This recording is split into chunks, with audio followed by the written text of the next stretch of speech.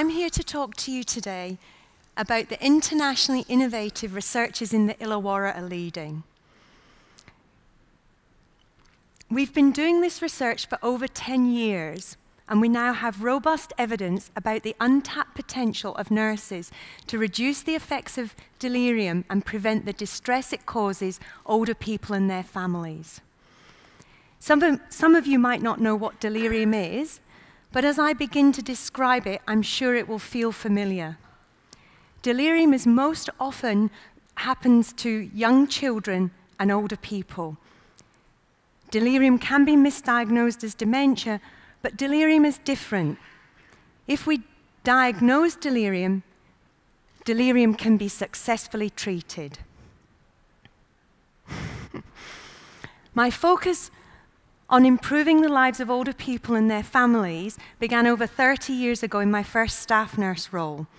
And my research career began when I graduated with my PhD in Edinburgh.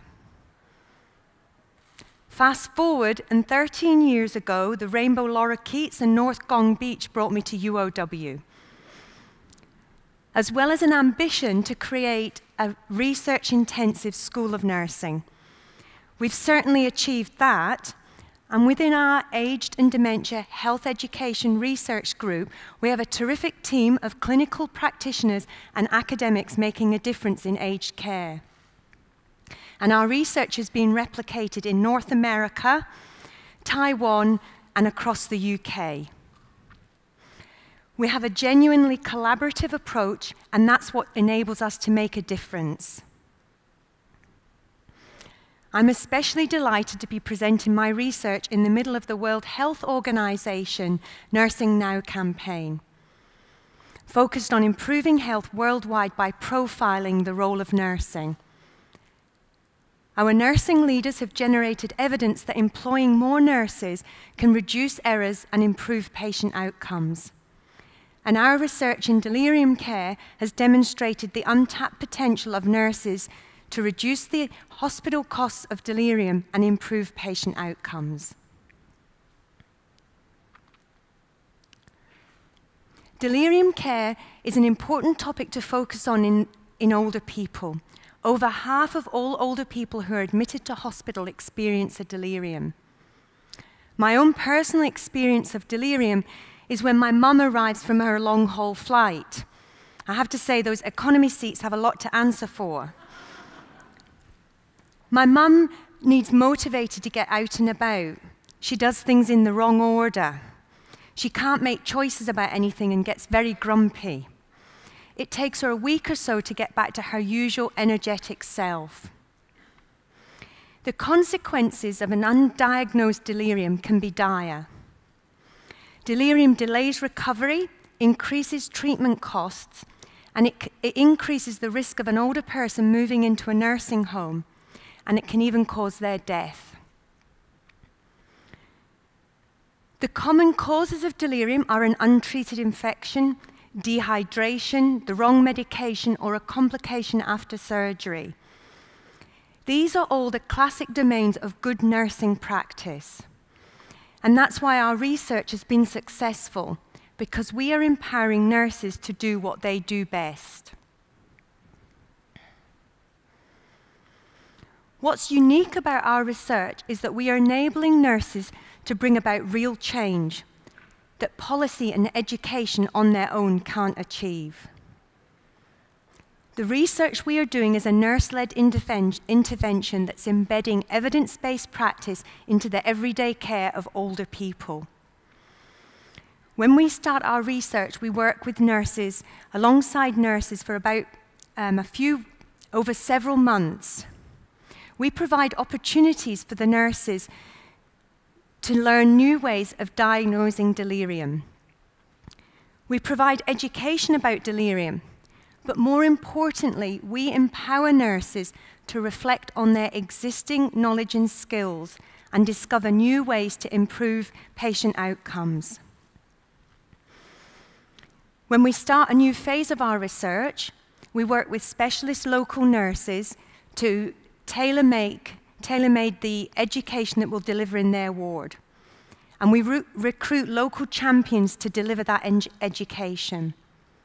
In our research, we focus our energy and time on building relationships to make sure the research we do is relevant to the ward where we're working.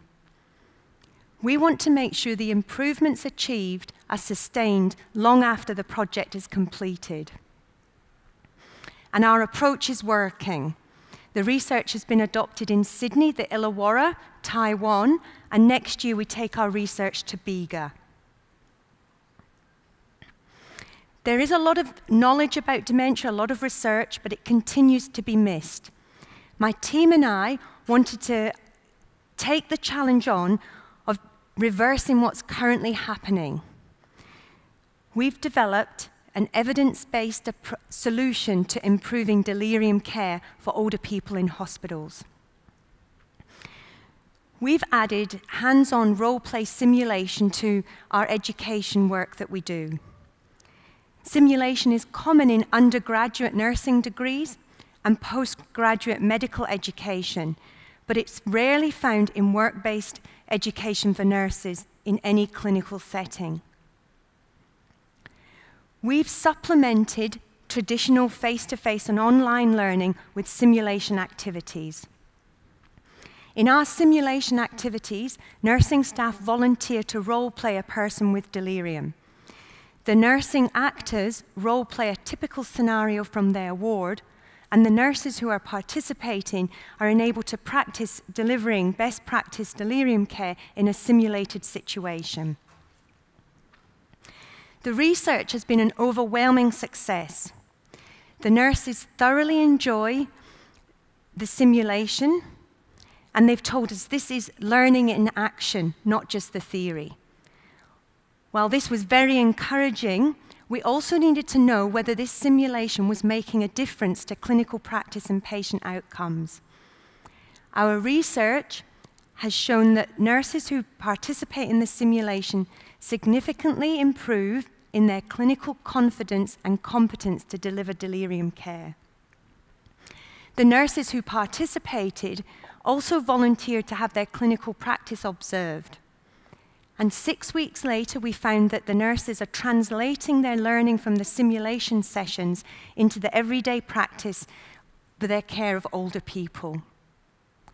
We now have the evidence to clarify the confusion and justify the promotion of our innovative work based education for nurses to improve delirium detection.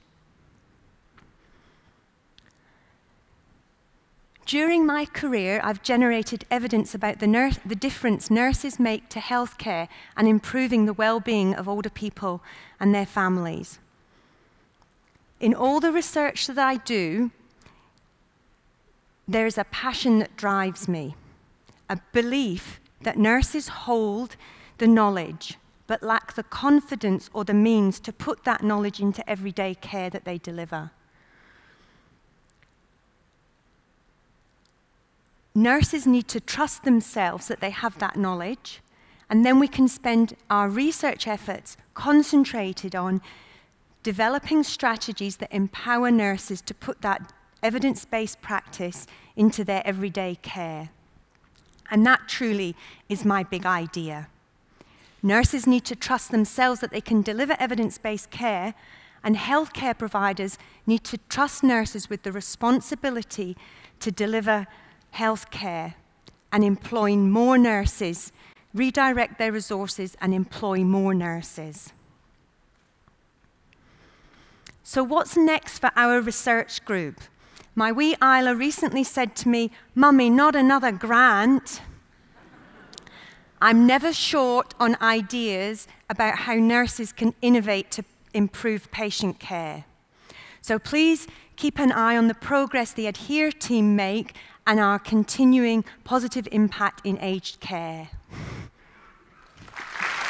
There we go.